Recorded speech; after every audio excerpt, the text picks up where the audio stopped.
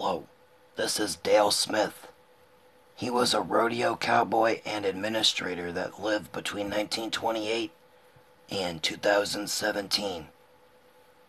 He's been inducted into the Pro Rodeo and National Rodeo Halls of Fame.